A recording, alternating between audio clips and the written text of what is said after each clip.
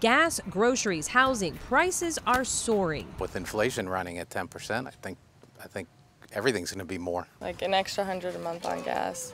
And then with rent increases, it's like $500. It's impossible to not spend money on these essentials, but when it comes to tech, there's plenty of ways you're spending money unnecessarily. Let's start with a free trial. Sounds like a great way to stream a movie or get a service for free for a limited amount of time until you forget to cancel.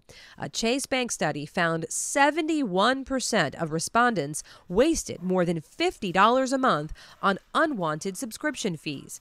If you sign up for a free trial, set a calendar reminder to cancel before the trial ends. Renting a router from your internet provider is also unnecessary spending. If you rent your router for $10 a month, buying one for about $100 can pay for itself in less than a year.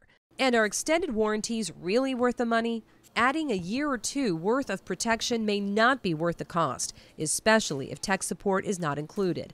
Instead, some credit card companies will extend protection of devices for damage and theft for no additional cost if the purchase was made with the card. Helping you keep more money in your wallet, I'm Nancy Alvarez reporting.